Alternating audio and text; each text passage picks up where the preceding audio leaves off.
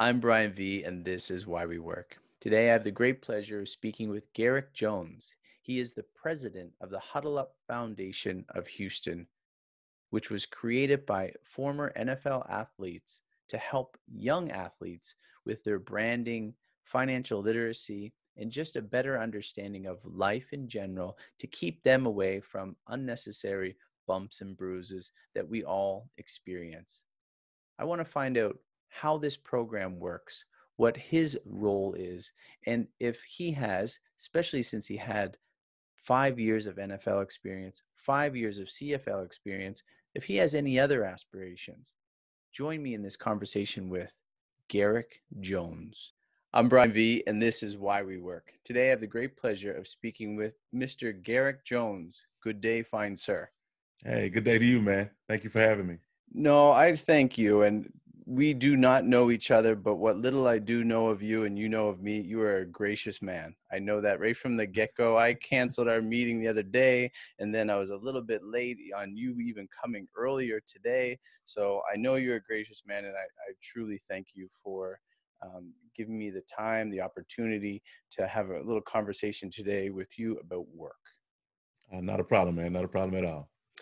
I'm going to do an introduction about you in in the end, and I'm going to throw it at the front. Usually I do it before, but because I was late, I didn't get to do it. So could you fill us in a little bit more, and and I'll do my best to give you the best introduction I could possibly do when I do do that, and just fill us in on the type of work you're doing now, and maybe what a little bit that led you to it. Okay. Well, the type of work that I'm uh, currently doing right now is I'm doing a lot on the philanthropic side, but also on the, I think, cutting edge and forward thinking side of, of professional sports uh, in regards to revenue generation for athletes and their families, as well as uh, different professional leagues.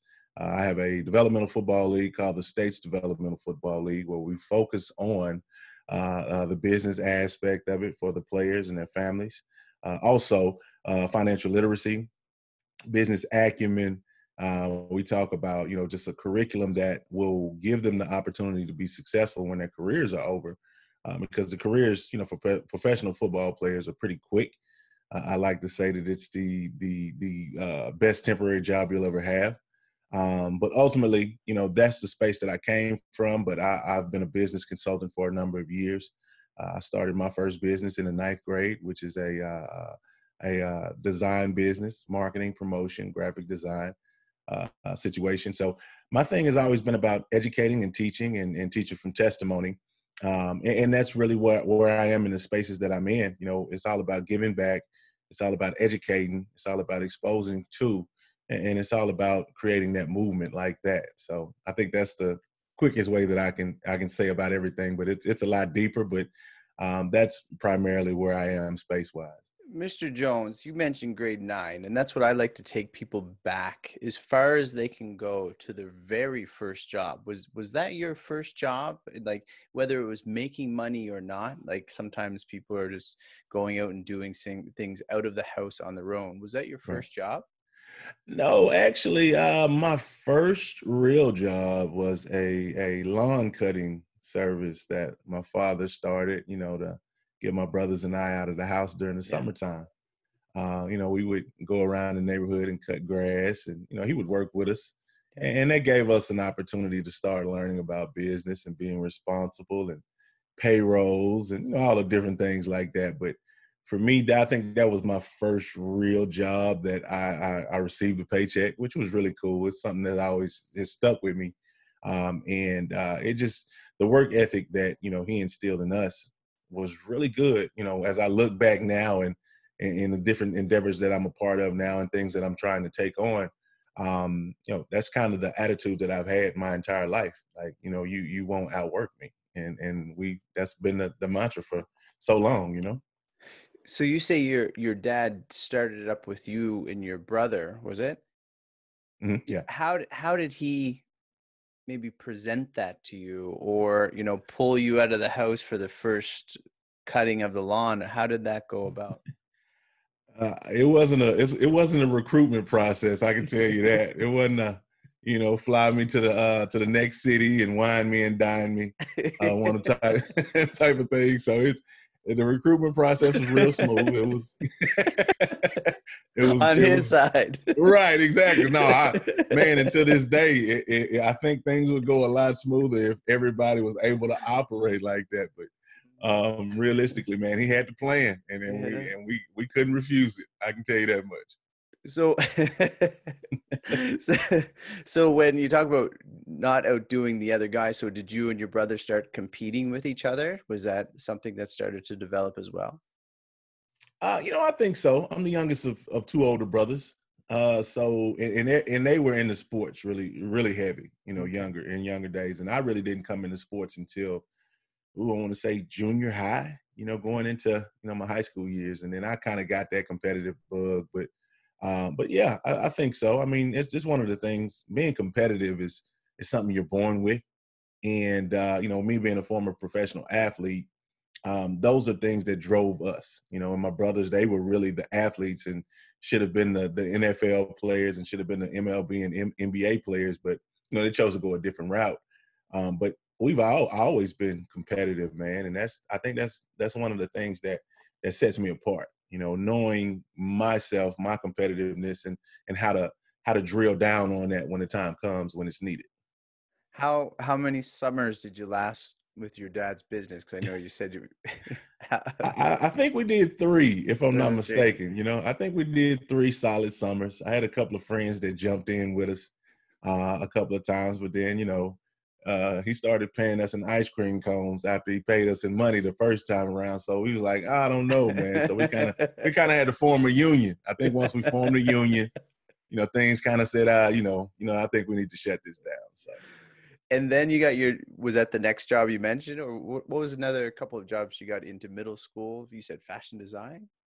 Uh, yeah, in the ninth grade, uh, a buddy of mine uh, we we started a, a graphics design business graphics. called Southern Flavor Images.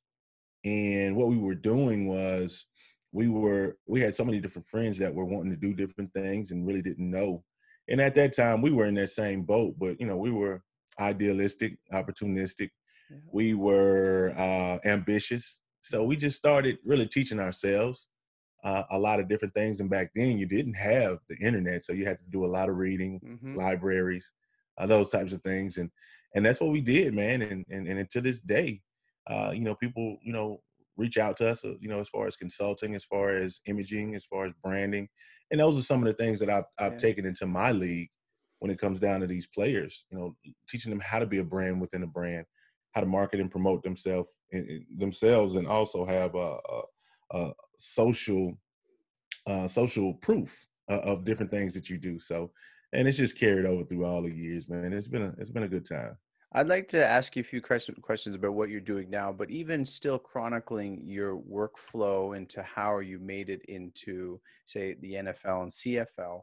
When did right. that start to really take take notice, whether recruits or yourself, or something that you wanted to take seriously, or is it just something you kind of stumbled into? I think it. I think it was a, a evolution, to be honest with you um, you know, I think with how my career uh, came about, uh, it's just a culmination of everything that I had went through, you know, beforehand, and being able to do so many different things really helped me because I didn't necessarily have to wait on you know people to help me uh, a lot of times, which really was good. You know, when it came down to putting my packages together, mm-hmm. learning how to market and promote myself. Uh, you know, because those are things that I had done, you know, for so many years. Mm-hmm. Uh, so I, I, essentially learned how to brand. And this was a VHS tape, tape was it? Oh not? yeah, you better believe right? it. These were these were yeah. VHSs, man, and and and black and white copies, and you know you know stopping at Kinkos and all those different things, man. So mm-hmm. I, I, I, was ready for it. So now it's a lot easier. Mm-hmm. Um, you know, and it, and that's the thing that that is really cool is I just I've been able to see, you know, the maturation of of of, of technology and, how it can help you know athletes, their families, and and everybody associated with with what what's going on. So, I don't want to ask you too many questions about your career in the NFL and CFL because I'm sure you've had so many questions. But as you transitioned into and out of professional football, how did you bring some of that um, character building traits that you now have and bring in and pour into these other athletes and these other people that you're helping out how did you you know kind of bring those good things with you? Well the thing about it is is there are going to be x amount of athletes every year trying to get to the nfl and less than 1% of all athletes across the world make it mm-hmm. and of those 1% that do make it you know uh, of all those athletes that are trying to make it, only 256 to 257 of those guys will be drafted in the NFL. So the numbers are are, are really lopsided, mm-hmm. and that's one of the things that I looked at by the way I made it to the NFL, being undrafted, without a senior season of college. I, I saw it from an, an, entirely different scope than a lot of other athletes that are in the NFL or had made it to the NFL at that time because either they were drafted, went to major universities, um, and, and, had the opportunity to go in and, and have those luxuries that I wasn't afforded um, just by, you know, from what, what I went through.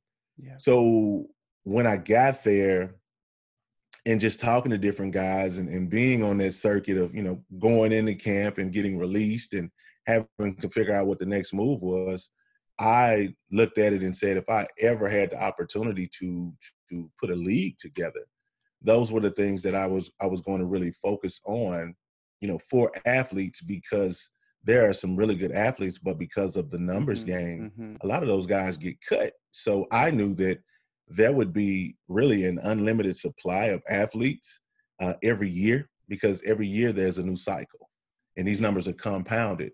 So what I wanted to do was be unlike any other league and, and really set it up to where when they come in, we're using football as the carrot. You know, they want to come to try to get to the NFL, but 99% of those guys aren't going to mm-hmm. make it. So, but 100% are going to have bill, bills, babies, and problems.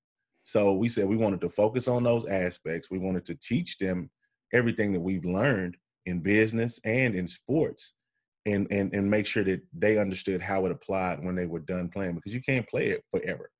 Um, but you will, you know, be a former player a lot longer than you'll be a current player, and that's one of the things that that's one of the pillars uh, uh, of what we do, and and that whole branding situation and things that I've been through is just teaching from that testimony because I'm a firm believer in if I've never been there before, how could I show you? So that's that's that's what I do. Uh, that's what I'm doing right now with my with my GM push uh, trying to get into the NFL as a general manager because I've started my own league. I've scouted. Uh, I've worked with athletes. I, I am an athlete. So the connection there is, is really unreal. Um, I've worked with different businesses as far as consulting, uh, and, and I've helped individuals and organizations in, in, regards to diversity and inclusion. I mean, anything you can think of when it comes down mm-hmm. to a leader, um, those are the things that that that I'm built from, and, and that's what what has happened if anyone doesn't have an understanding, I grew up watching Rudy. I'm just a little guy. Okay. Okay. Gotcha. and and you know, I'll put myself in like I tried for a football team or university football team, got cut. You know, wasn't recruited, but then eventually made it. Pr- pretty happy. But what I think about most often is like the movie, the the documentary Hard Knocks, mm-hmm. and the the heart wrenching is those guys that are trying that weren't recruited, right? right? And they didn't go to the big, right. but they're given their heart, right? And and some could right. say given more heart than these guys that you know I, you would probably know better than I would. There's some you know guys given 100% no matter where they come from or where whatever situation they're in. But some of these guys that weren't drafted, they're given 110%, and then if they're cut or if they get injured or something along those lines. But even better when they do make it, like yourself, but then the ones even after a career. And what you're doing is you're giving them an opportunity right from the beginning to say, listen, mm-hmm. despite how your career goes, you do have babies and bills and what was the other one? Uh, problems. Baby, I should know that one. all right, everybody should know that. got problems. It Man, hey, that's universal, right? Babies and bills and problems, and we all have them. And you're setting and I love that because you hear so many tragic stories. It doesn't, I mean, it doesn't even matter what type of work, but you do hear it in sports mm-hmm. a lot mm-hmm. because people get these big paychecks and then people running out of money, going bankrupt, getting, you know, but you're showing them a path. You're giving what, can you speak more about how you're giving them? I, I saw on your, your site financial literacy because i think that's important and it's something i lack i know that for a fact and how is Yeah. it that you guys develop these programs and what is it would it look like for maybe an athlete Right. So the way we came up with these things was we knew that all these athletes were having problems, myself included. Yeah. Um, everything that you hear about, man, I've gone through it. Um, and in doing so and, and being, you know, of an entrepreneurial type of uh, bloodline for myself, yeah uh, even I had problems because I was never exposed to those practices like financial literacy at a young age. Uh, I, I was exposed to hard work, you know, um, but my parents, they were working, you know, and there, there was never really classes or seminars or webinars for me to get into as a youngster. Mhm. Um, so those are the things that we wanted to bring to the table for the athletes. We wanted our league to be so different that when you look at other leagues compared to what we do, they're just playing football, which that's the case. Um, case in point, you know, our schedules will be bi-weekly. Um, so that gives us an opportunity to play the game, but the next week really get them in a classroom setting and, and, and focus on learning about finances, learning about insurance, learning about uh, uh, different aspects of trust, learning about different aspects when it comes down to um, um, commission structures from businesses, setting up Mhm. your own brick and mortar businesses, franchising, uh, and also leveraging, you know, whatever you've done in the past. You know, whether they were a Pee Wee All or All American or an All Pro, they have a following that can be leveraged and monetized. And guys don't know that. And, and with this day and age, with you know the computers and, and the internet and the connections the way they are from a global standpoint, guys are not maximizing what they've done in the past. Uh, and that's what we wanted to do as a league give them every opportunity to be successful and make money from every aspect of our league, not just us paying them a paycheck, but them getting into you know profit sharing per game, uh, taking the helmet off, and, and really getting out in, in the community and having a connection with their fans. Uh, those are all the things that help uh, establish them more in the communities and establish them more uh, uh, in a business sense and in an overall development, a holistic approach. And leagues weren't doing that. You know, all the leagues that I played for, it was about the X's and O's and the bottom line, unfortunately. So I said, hey, this is how this will go um, because this is something that's needed. And, and this is the reason why, you know, once I get a chance to sit down with the the the upper management with the NFL and and and, and whoever else, they'll be able to see that the heavy lifting has been done and it's something that can just be a, a plug and play scenario for them and give them an opportunity to develop their players on the field and off the field. And it, and it just works for everybody because that's another revenue stream for the NFL. And with COVID going on right now, I think they need to get as creative as possible when it comes down to uh, generating revenue. And and we have the answer. I had this question a long time ago, and I think you're the perfect guy to maybe answer it or even direct me to what might be my right mindset. Okay. But is there a responsibility? I, there's is a responsibility on the, the individual athlete to manage his money, but is there a responsibility on an agent, you know, an owner or something to strongly encourage some athletes to take a portion and invest it for their future, like long term, 20 year, like take this, Okay. or is there something in place that says, okay, you, I mean, not you must, but there's a program for them, or is this what this is the kernel of what you're trying to get going? So there is something there, so people are looking longer than their usually Right. five five year career. Right. Well, you have to look at it like this: the majority of the the the young men that are playing in the game today come from areas that uh, it's it's been about surviving and not necessarily thriving.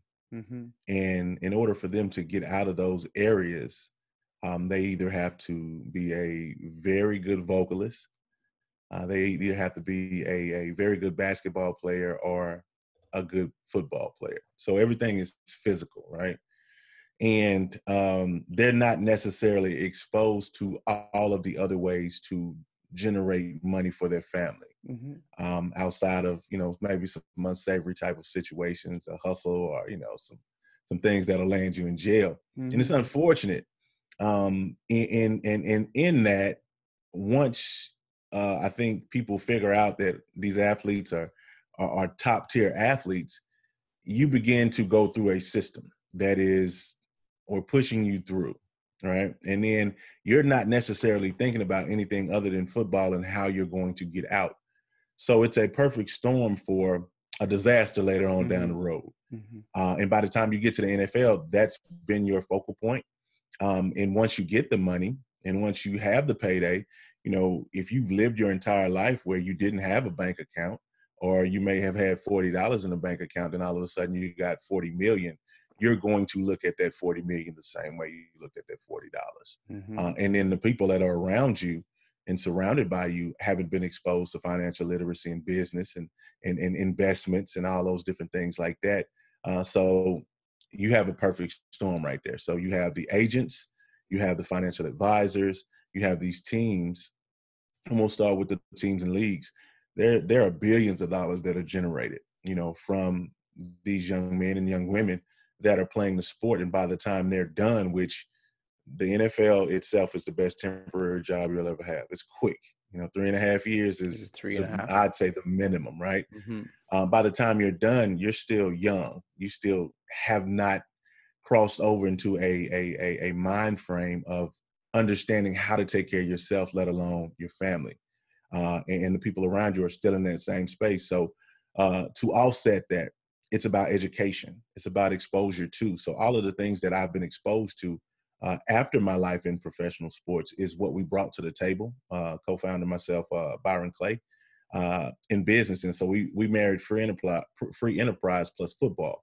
And with that, and in doing that, um, you get the opportunity to show the athletes an entirely different mindset where we're reprogramming them from wanting to be employees to, to want, wanting to be employers, uh, wanting to have ownership, um, and, and, doing it through the sport that they love. Uh, because the way we have it set up and structured, they'll be able to make as much money as they want. And they want, then they'll create generational wealth. That's the biggest thing, things that can be passed down. And that's not just mo- monetarily, uh, that's from knowledge as well. Uh, and that's how you get the opportunity to help all of the athletes. But in doing so, uh, all of those revenue streams that will be going uh, are now, you know, there there there pieces of that and percentages of that that come back to the league. So whether the athlete is playing with us or not, uh, and they're running their businesses 30, 40 years down the road, there are still percentages of what he does coming back to our league because we taught him how to hunt and we put him in a position to take care of his family and, and not just had him on the field and said, okay, well, here's your paycheck and good luck to you, all those things. So uh, I think there should be a mandate for all of them to come together and make mm-hmm. sure that these athletes are good because if you do that, you, you put yourself in a position to really benefit from what that athlete is going to do after he plays ball. And that's what a magic really does happen. And, and people don't really understand that when you're done playing, you, you have more time to, to be in the community and do a lot of things, and you no longer have the helmet on.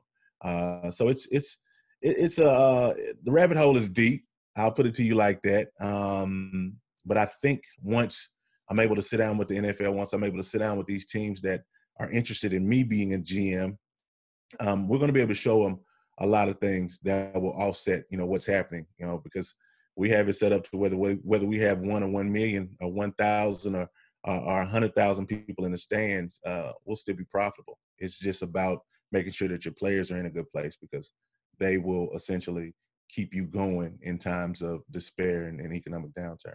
Garrick, maybe I missed it, but you're speaking of your league that you're mm-hmm. creating or have created. What does mm-hmm. that look like in in actual playing and scheduling? Uh, well, our deal is this. Um, from my experiences, when you go to camp, uh, especially now in the NFL, they'll come to camp with 90 guys and they have to whittle that down to 53 men. Mm-hmm. What happens is you lose a lot of those guys that you had that were really good players yep. to numbers. And when they're cut, these teams now are focusing on the season, so they don't have the opportunity to understand and, and know where these players go. So what we did was we said we want to run congruent with the CFL season and the NFL season. So when you cut these players, these teams can allocate those guys to our teams and they'll be able to develop on and off the field and be mentored by former professional athletes that mm-hmm. are coaches, that are scouts, uh, uh, and, and, develop in such a way to where when the injury bug hits, these teams can pull them right back up, and they know where they are. Uh, they're running the same schemes as the teams that they came from, all those things. So we've taken our time with putting together this platform in mm-hmm. order to mesh with the NFL and what the CFL was doing and, and give them a, a, a, feeder system, if you will, um, uh, uh, of talent, uh, not only on the field with the players, but with the referees, with upper management, you know, the interns and those types of things that they may not be able to have and house in the NFL. If they have good candidates, they can actually allocate all these candidates into what we're doing so they can learn the ropes. And that's exactly why we started the league because I wanted to learn everything that had to, go on with running a league, uh, being a general manager, all those aspects, scouting, um, because I was doing that and learning on the job when I was playing. Mm-hmm. And, and, and I was uh, privately scouting. You know, guys would call me up and say, "Hey, man, who you got? Uh, give us a report on him." You know, anytime they come to Houston or Little Rock or wherever I was, I've had scouts from all teams call me and, and, and I've dealt with them, and I've, I've I, that's how I was scouting instead of scouting and, and, and talent evaluation with one team. I said I wanted to work with all the teams in all the leagues because my thing is universal. I didn't want to compartmentalize myself with just one thought process from one mm-hmm. team and those athletes because I knew the numbers of athletes were already disproportionate. Uh, so that's how we work, man. We work uh, congruently with the with the NFL and the CFL and their seasons, and we played a couple of seasons, but we beta tested those seasons to see what worked and what didn't work, mm-hmm. uh, because we wanted to have a complete project and a complete pl- platform when we actually sat down with the leagues and says, "This is what this is what this is, and this is how it can help you." You mentioned GM or general manager position. Do you see some stones that you need to to cross before you get there some some pathways or maybe certain positions that you'd like to get into because I, I can't imagine it would be horribly difficult to get at least close to being a gm there's only so many gm positions but right. at least getting into being some assistant and working your way through the system but you're not you're not in working particularly in the NFL at the mm-hmm. moment. So, right. do you see some um, stones that you need to skip across first?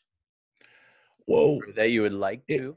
If you, if you, and this is what I did. You know, right now I'm in the process of uh, petitioning to be the uh, next general manager for the Houston Texans. Good, good. And in doing so, uh, I opened a door that nobody has done before in regards to the fans and being able to connect with the fans. And when I sat down and I looked at my body of work, my body of work is just as robust or even more robust than a lot of guys that went through the ranks mm-hmm. the traditional way. Okay. So when it comes down to what's needed um, in a general manager position, I know what the workload is for everybody in the building. When the general manager candidates that they may bring in now, they may know just the football operations mm-hmm. aspect of it and and and a general manager position is about leadership and delegating and bringing the right people in that are going to be stellar uh, at those positions under you. It's like capologists. It's like uh, player personnel. Uh, it's like pro personnel. You have to have people that will sharpen you, but you got to understand that everything and how everything works in the building from a in the building from a football ops perspective. Uh, but you have to be a leader and be able to tie all that together to bring the culture, to to set the tone. And that's exactly what I've done by starting my own league, by independently mm-hmm. scouting, by by learning how to evaluate talent even when I was playing. You know, I was exposed to all those things. So my career has been, I think, a microcosm of all of that. Mm-hmm. Um, so those are experiences and experience that I bring to the table that other people can't. And then on top of that, I played the game. So I've seen it from clo- from from from from that that forty thousand foot range, yeah. and I've seen it from right there in my face. So there are things that I can bring to the table that no other other GM candidate can because I understand the dynamics of fan uh, fan support. I understand the dynamics of having uh, the connection with the team uh, and, and the generational gaps that are there.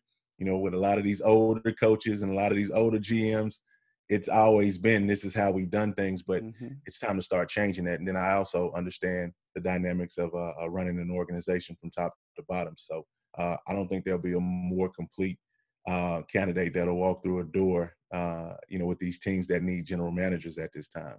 Thinking of my listeners of why we work, and we'll get some more questions about this later, but this seems like a dream for you. And it's something, do they know you're knocking on the door?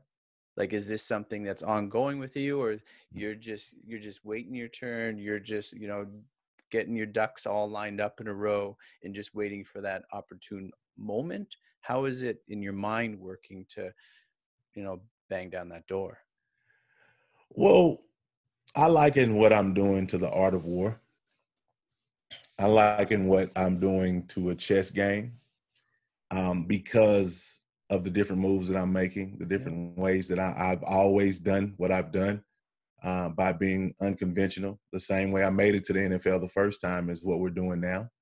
Uh, i'm taking a lot of that social proof from that movement um, and being the guy that everybody looked at as crazy and you'll never make it. Scouts were like, "Nah, you'll never make it," but I did, and eventually, you know, as an organizer of the Players Players All Star Classic in Little Rock, Arkansas, which was a bowl game that we put on uh, to help athletes go to the next level.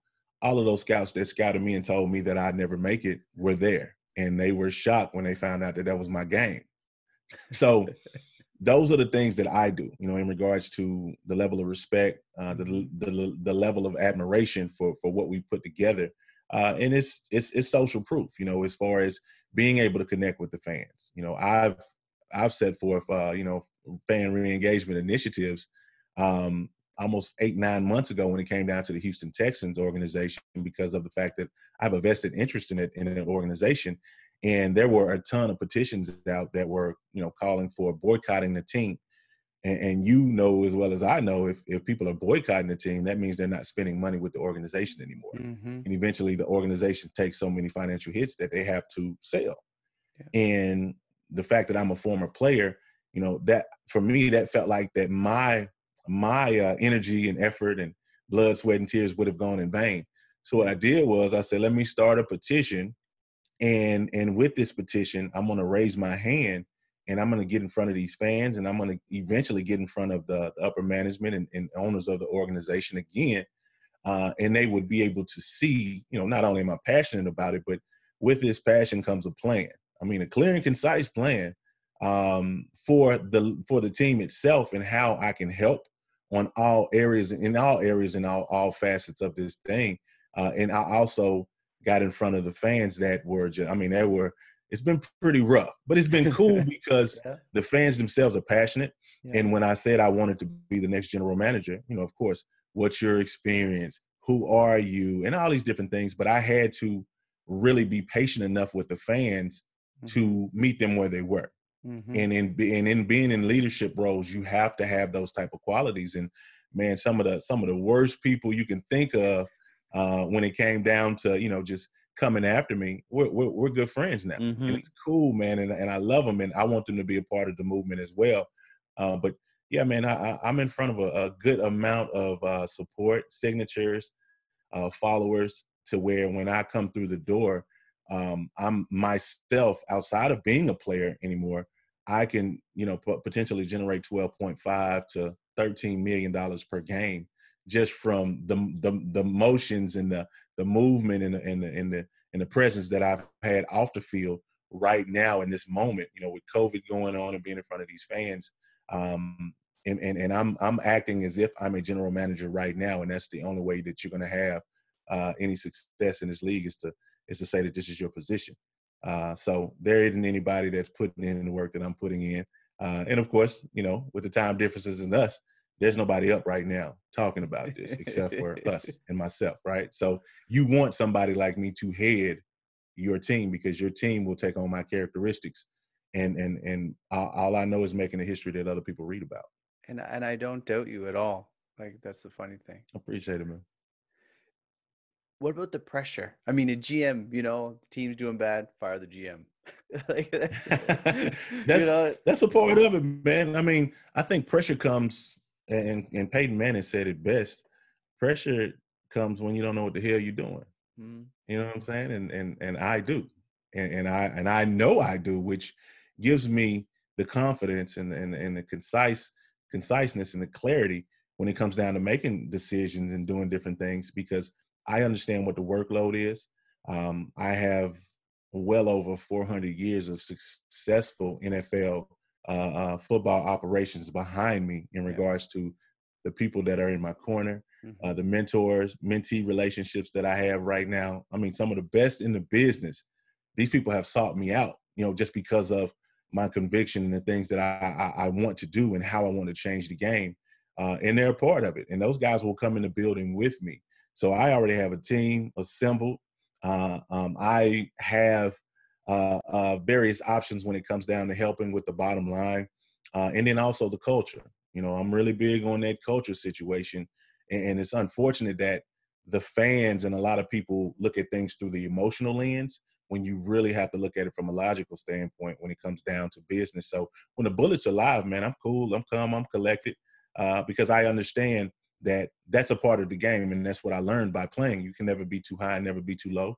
Uh, you're going to have some bad plays, but in those bad plays, there's a lesson, but you have to have a short memory when it comes down to going to the next play.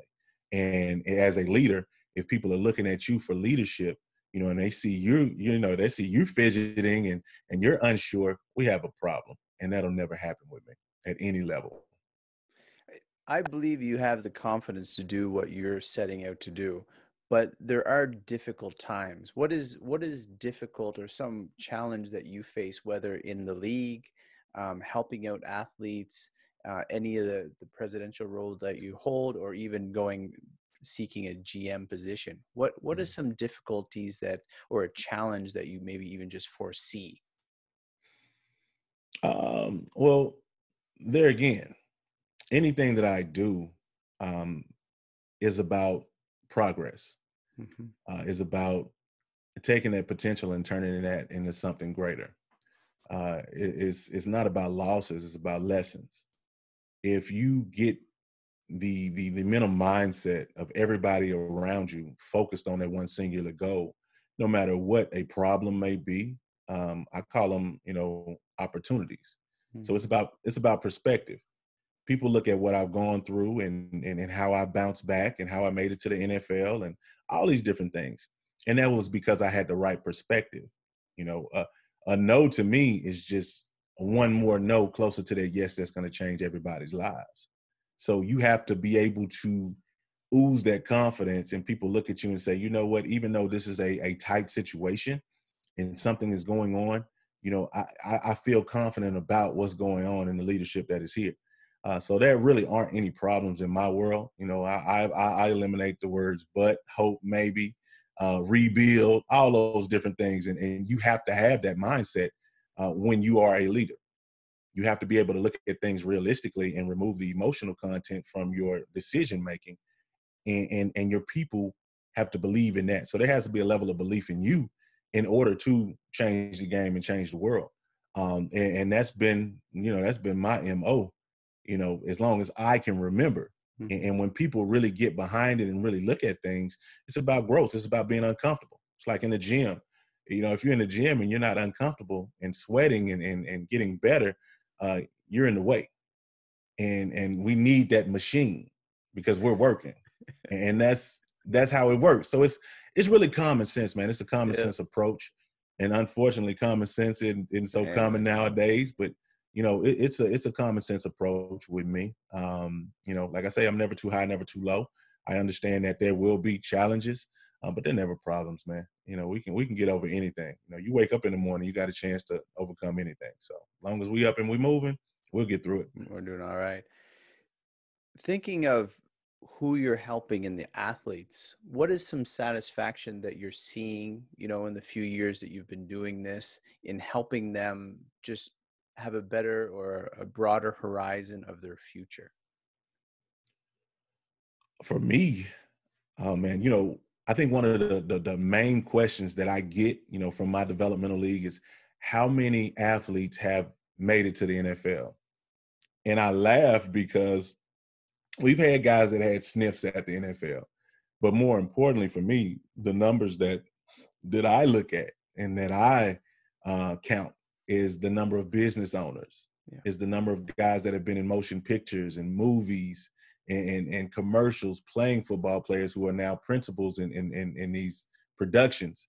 Um, the number of athletes that, you know, our family men now that have started with us and have evolved and, and are now investors. Um, and, and those are the numbers that I give them because that's the main thing. You know, if you really look at it, they're going to be far more business owners and far more pillars of the community uh, in what we do than guys are going to go to the NFL because that's how it's structured. Everyone can't go to the NFL. So with us knowing that our numbers are a little bit different, um, you know, we have guys that are going to get that look, you know, and we have, you know, the different scouts and, you know, just from my career alone, I have over 400, I'll say 425 individuals that I've either played with, been coached by, uh, are, are guys that you know I know from different organizations that I'm able to to call up and say, hey, uh, I have a guy, I need you to look at him. We put together a book of business on him on the on the field with his film, with the various positions, and then we have a book of business on him, uh, what and, and what he does off the field. And here you go, and this is a complete package. Um, so, so I think those are the things that are really satisfactory to me is to is to watch my guys grow up and and still be yeah. in tune with what we talked about earlier. And, and now all of those guys are a part of this movement and this push because they're duplicating the processes that I've shown, that we've shown, um, and, and, they're putting it out there uh, in their social media spaces and, and with the people that they that they know, and, and, and they understand what it is that I'm doing when it comes down to social proof.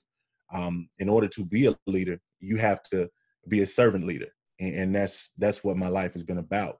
Uh, and, and these guys and these and these families know it, and, and that's the I think that's the most gratifying thing for me is to, is to watch everybody come through and and and become successful in their own right and have an opportunity to to to go from wanting to be a player to wanting to be an owner of a team or owner of a league and and own you know businesses residential and commercial real estate franchises.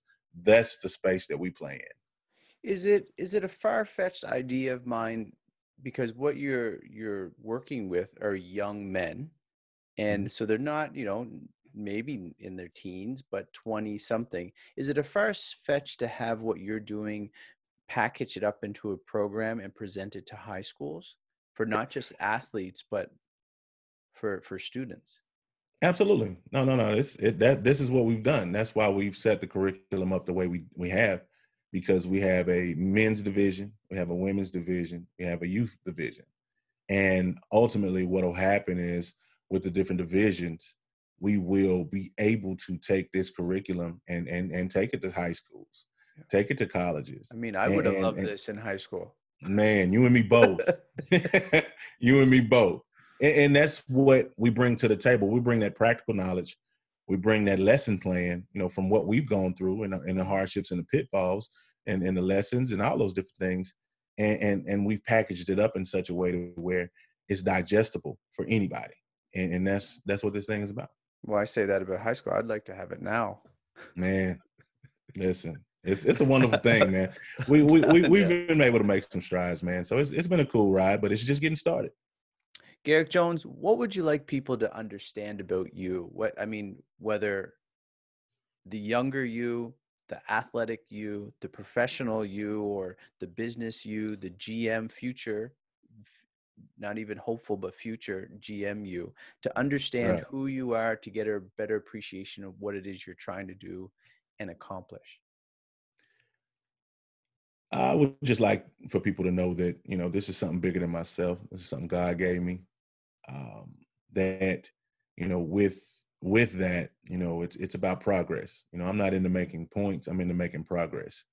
And, and in that progress i'm into helping people in, in ways that they never have thought about being helped or even thought about you know going.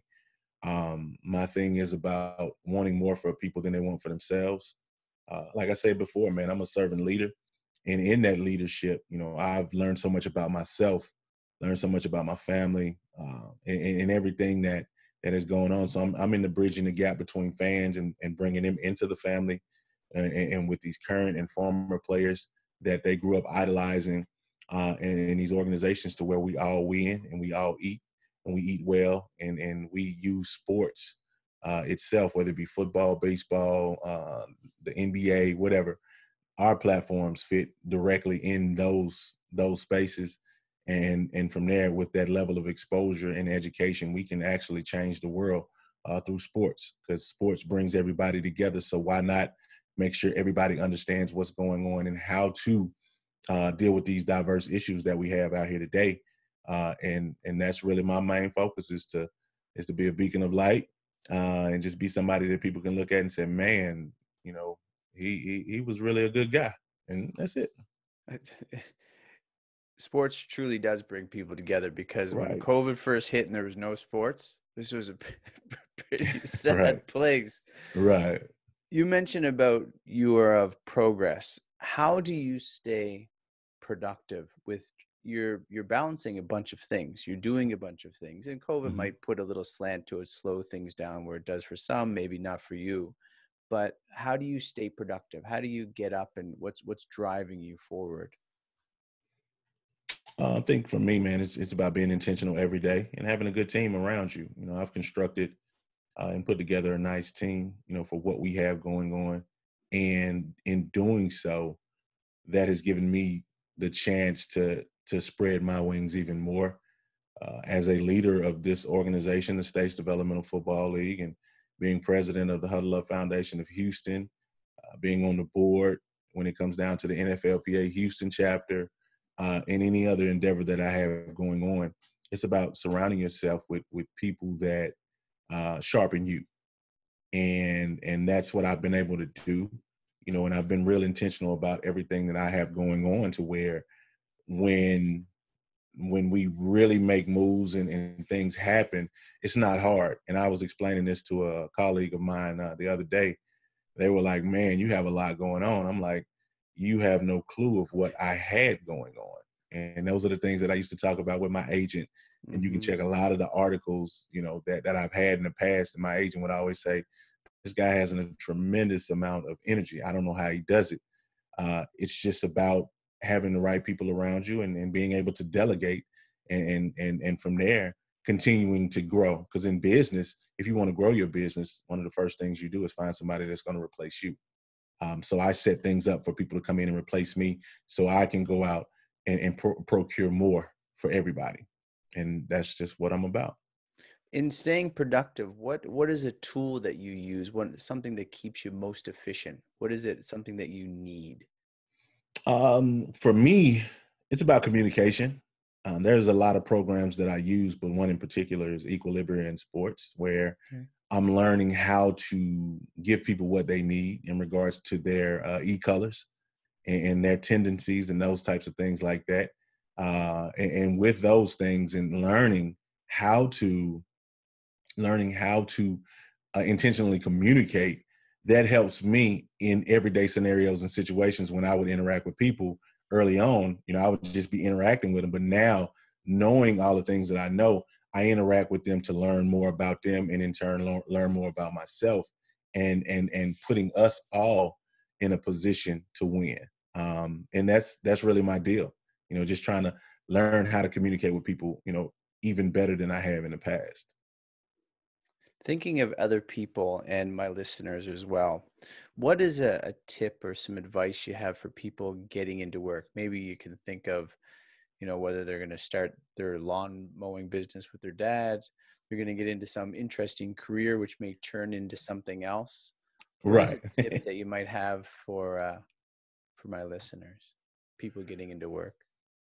Oh man um, finding something that you're passionate about you know that's i think that's one of the biggest things. If you are able to get into a uh, i'll say a job or a career yeah. um, or anything that you're passionate about that'll definitely help you when times are hard because it gives you a foundational structure. Uh, and then from there, being able to take that passion and apply that to your plan. And it's your roadmap. And that gives you the guidelines for how to go. Even when times are tough, you can always go back to that plan. Uh, and that's your structure. It's just like in business, you have a business plan for a reason. And if you have the right leadership, people buy into the leadership and then you got a business plan. So whenever things get haywire, you can always go back to that business plan and get back on track. Uh, but it starts with passion, man. You know, be passionate about every day, be intentional. We're not promised another second, you know, so take it full advantage of it. Take full advantage of people that want to help you um, and, and, understand that it's a it's a teamwork atmosphere. You can't do it by yourself. Uh, so teamwork really does make the dream work. So I live by those principles, man, and, and I just try to live that every day, and, that's really helped me in everything and all the endeavors that I, I've taken on in my life. Speaking of endeavors and other endeavors besides work, how do you make those work life choices to keep everything in check? You mm. know, giving yourself some free time because you said you were so busy at one time and still busy now.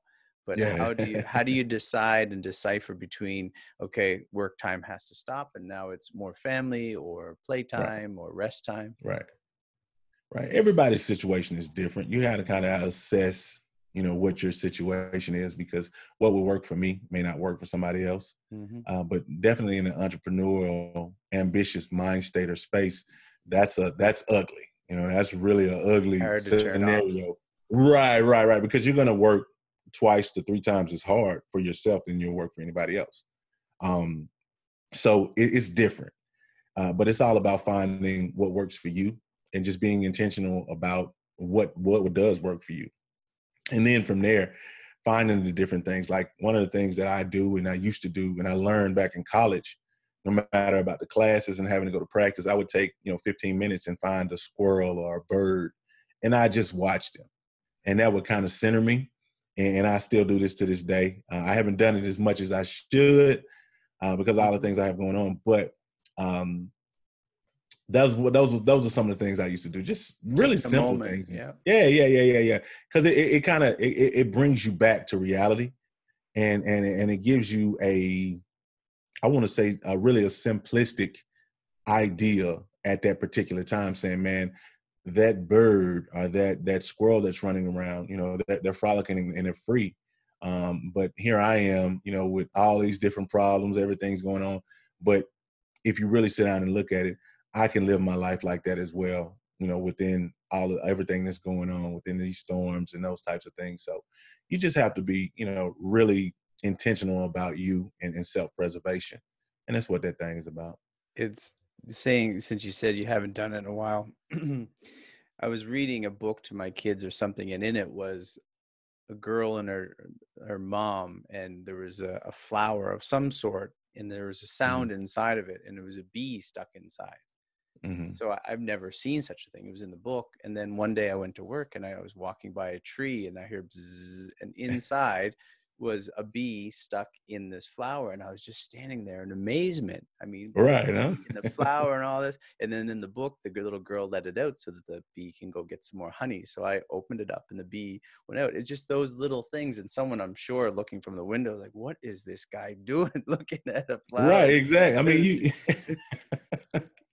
Right. You seem you seem out of your mind of people. You know, you seem yeah. out of your mind a lot of times because they haven't allowed themselves the opportunity to think on it on on that simplistic level. And once people do that, man, it, it I mean, it just you can go on about your day a little bit better. You know what I'm saying? So I get it. Bet, better perspective on on some I get it. right. Absolutely. Rebalances some things in a way. Wait, is there anything that you wish you would have known I mean, your program seems like, from my perspective, if I was working with you, mm-hmm. everything that you're setting up in your program is all the things I wish I would have known. So, right. is there anything in particular that you wish you would have known that you would have told yourself, but you can tell other people now that they might or should consider in work? Well, for me, Brian, to be honest with you, I, I think I am where I need to be or where I'm supposed to be. Um, and if I would have known all of this stuff early on, you know, who who knows what would have happened? You know, I probably would have been, you know, hoarding all this, you know, information and and, and perspective and everything, and not really sharing with people. You know, and, and, we all know that that's no good. You know, you have to be able to learn and then share and, and help people grow as well. So I always look back on certain things, and I was like, you know, what if I knew then what mm-hmm. I know now. And then I always come back to the realization that if that would have happened, I would not be the same person I am today. You mm-hmm. know, and and I, I think I think we're in a good spot, man. We're making the noise that we need to make and and teaching uh, uh, the way we need to the way we need to teach rather. So you know, that, I think that's kind of the answer to that question, man. I, I look at it sometimes, but I, I wouldn't change a thing to be honest with you, my friend. The idea of career and character where can you say the the temptation lies or the pull lies? And i i can just take it from your this interview and conversation with you that you mm-hmm. put your character above your career. But for a lot of people and maybe yourself included i know for me is like the title right? Whatever the title is you know i wish i can get there. How do you keep that um, in check to make sure you're putting the right foot forward each time and you're not being led by the allurements or um, the accolades and anything else that right. might come before you. It's just having a good a good grounding a good base a good foundation. Um, i'm a, I'm a regular guy to be honest with you man. You people will look at all the things that i've done but when they sit down and talk to me they're like wow. You know just my thing with football even though i'm a former player you would talk or you could talk to me for hours and I may not discuss an X and an O yeah. uh, with you because I, I, feed off of your energy and where the conversation needs to go first before I start talking about certain things. So business, uh, just levels of success, you know, however you want to rank it.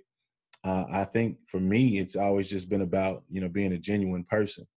Uh, you know, I genuinely want to see people in, in better places that than than when they got here and that's my thing. I genuinely want to leave this this world um, better than when I got here, and, and, I know that it can happen because you know I'm a change agent. You know, I'm all about finding ways to do things better, uh, finding ways to to to to make more of an impact, whether it be social impact, whether it be economic impact, all those things. And that's really my my foundation and my base. Uh, I've just been blessed enough along the way to to to get some titles and you know and all those things. But man, I'm really a down to earth guy. Yeah. And and people find that out really quickly when they talk to me. It, it, doesn't take more than five minutes for people to say, "Oh, he's a little different." Now we can really talk to him, you know, and it's it's cool. There's this is a little off topic, but you mentioned about making things better, and I know you do work mm-hmm. on helmets with trying to reduce concussions, and it's right. something I've uh, another thing I've wanted to ask someone for a while, and I noticed that you're you're involved with that why don't we have helmets with a little bit of rubber or something on the outside rather than right. plastic? Is there a reason for that? Well, I think the Just reason and rationale bit, yeah. behind that is the the the weight of the helmet. Yeah. Um, trying to find lighter components that will be able to absorb like a rubber would. Yeah. And those are some of the things that we're testing, you know, with Impact Sports uh, really trying to figure out the best way to make sure that the helmet is light enough for these youngsters to wear while they're developing and playing, but also for the helmet itself to be um, safe enough to to to dampen those blows and reduce the numbers of concussions. So it's it's all about having a um, I want to say just thinking outside of the box. Yeah. Uh, when it comes down to different things, because man, realistically, as far as I can remember, I've had nine concussions, and and and people ask me why do I work so hard uh, when it comes down to the th- things that I do? Why am I always thinking? Because I know from my experiences and, and and having teammates that aren't doing well that if I slow down and if I really don't use my mind um, as much as I'm doing right now, within six months, it, it, this would be a totally different conversation. And and that's the hardest thing for me uh, mm-hmm. because that's hard every day because of the, the, the type of damage that I've done to myself and yeah. and the game has done to me. Um, we want to make it better because you should never have a reduced quality of life uh, from anything that you do um, in, in, in the entertainment industry. And we've entertained millions and millions of people, um, and there are a lot of guys hurt. And I have teammates that they're not doing well, man. And and that that drives me to continue to keep going and keep going because there are days when my kids have to finish my sentences. You know, even though I may be articulate, I have to work at this. Like like I'm playing the game. I mean, I'm I'm practicing talking. I'm practicing thinking. I'm practicing mind games. And it shouldn't be like that, you know? And and, and that's where the whole helmet situation comes from. We just want to make the game as safe as possible. Yeah uh, to where you know a lot of these athletes won't be going through what I'm going through and what uh, so many other guys are going through.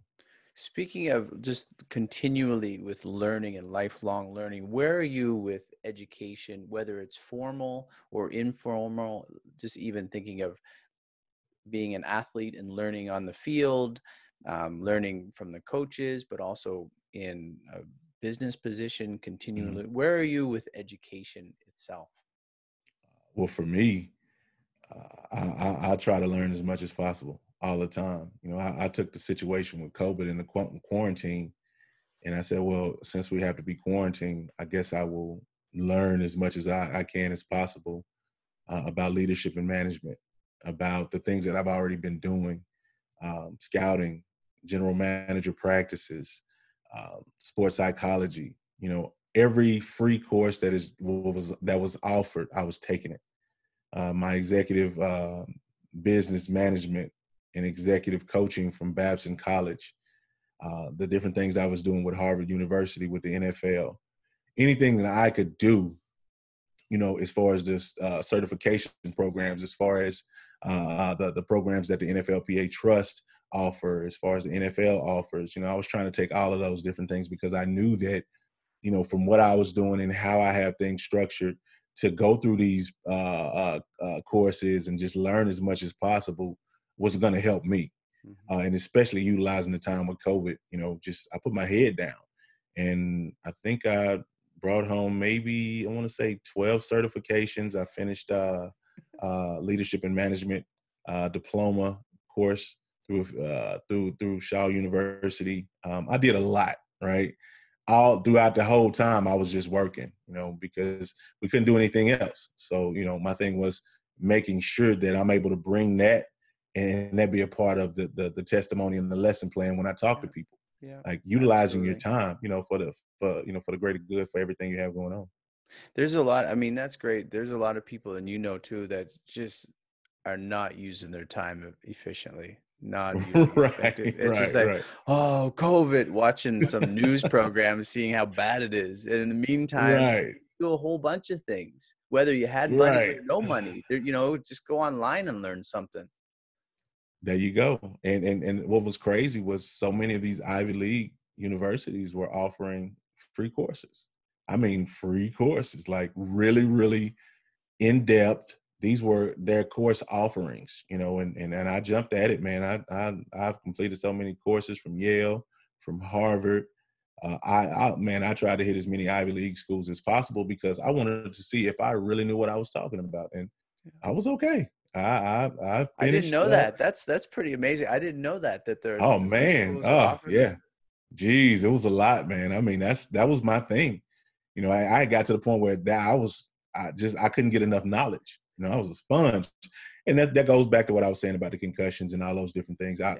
I really have to push myself, and that's a part of helping me uh, through through this process of of knowing my body has had some trauma and knowing my brain has had some trauma so i really have to work at it so well i'm gonna like i think my brain has some trauma too and that's not making it it's right. not making a joke but like it, right. it's really hard to focus to read to to really ingest you know maybe you know not maybe but certainly reading again or reading it right. loud just so it's really going in there so i think mm-hmm. what you're saying is is perfect for this as well of people no matter what sort of difficulty, if you have a desire to learn, or if you don't mm-hmm. have a desire to learn, you should have a desire to learn. But right. it, with with learning, don't give up. Right? right. Keep trying because you or I, it doesn't matter. We can get through it if you have a desire. Even even if you have to do audio books and all of those types of things. It, all of them. It's all all a good way to to learn something, especially if you have a passion for something. Garrick Jones, how can people reach you, sir? I tell people all the time that they can search me on any search engine. Um, they can put in my name, Garrick Jones, uh, put the NFL next to it, and everything I'm doing will pop up. Uh, you know, for my petition and a lot of other things that I'm doing, um, they can search out the hashtag GJ, the number four GM. And what will happen is everything that I'm doing, everything that I'm posting social media wise will pop up um, you'll you'll get a chance to to find my uh, situation with the Huddle Up Foundation of Houston. Uh, you'll find the SDFL, which is the States Developmental Football League. Um, you'll see a lot of stuff from the NFLPA, uh, and then of course you'll see uh, my situation from uh, the petition to be the next general manager of the Houston Texans or general manager in the, in, in, in the actual NFL itself. Mm-hmm. Uh, and and from there, once you go and you you guys can kind of you guys can go to change.org and, and put my name in the search engine and that petition will come up. And what I've done with that petition is made that like an electronic press kit where you get all of my articles, uh, you get all of my interviews. I mean, once this one is done, I'll have that posted on there, and I'm I'm making that a, a, a catch-all where everybody can go there and see all of the different things that I have going on, learn about the petition, uh, learn about me in business, my LinkedIn profile, uh, and, and everything. So that's uh, change.org. And just in the search engine, put in Garrick Jones, and my petition will come up. Please, guys, sign it. You know, comment on it. Uh, and and the more the more the, the more signatures I have, the better, because uh, those signatures are like currency. So and it helps me in in what we're doing with the NFL and trying to get get back into the NFL, you know, whether it be with mm-hmm. the Houston Texans or the Atlanta Falcons or or any of the other teams that are needing some some good transformational leadership. And it's time to make those moves. And and I, I look forward to being, you know, the guy that that heads that that that movement. I, I would say any place warm. right. you take right. anyone. I, I know. Garrick Jones, I have one final question for you, sir, and that is why do you work? Well, I work to leave a legacy. Um, when my grandparents and great grandparents and great great grandparents passed away, um, they didn't leave us anything. You know, they worked hard for other people, and unfortunately, they didn't have anything. You know, so I learned how to work hard for my parents and you know with my parents being a little more forward thinking we'll, we will be left with something. Um, but i look at the generations that come after me like my my children's children. Um, i want to be able to leave a blueprint for them that they can take and that they can give to their kids. Um, and from there just that legacy and and, and, and generational wealth of knowledge and generational wealth of, of finances and and give them an opportunity to be successful and and that way they would be able to carve out their own lanes and be their own trailblazers and pioneers and and I just want to inspire not only my family but all families. I want to inspire all people. Um, I understand and I understood early on that every movement needs a sacrificial lamb, and, and, I feel like that I I am that sacrifice when it comes down to the different things that I've had to omit in my life. Um, but you know that's the reason why i do what i do. That's my why you know my children you know they they are the reason why you know my my my, my wife just my family um, making sure that they're okay and and i'm a provider. So that that's it man. That's me in a nutshell. Well you you are leaving a blueprint and i think that blueprint will definitely have an impact. And we, we should all you, we should all appreciate a sacrificial lamb I, I would say amen to that. And Thank Garrick you, Jones, the future general manager of the team to yet to be announced. Thank you for your time, kind sir. I appreciate it immensely. Thank you, man. You have a good one, man.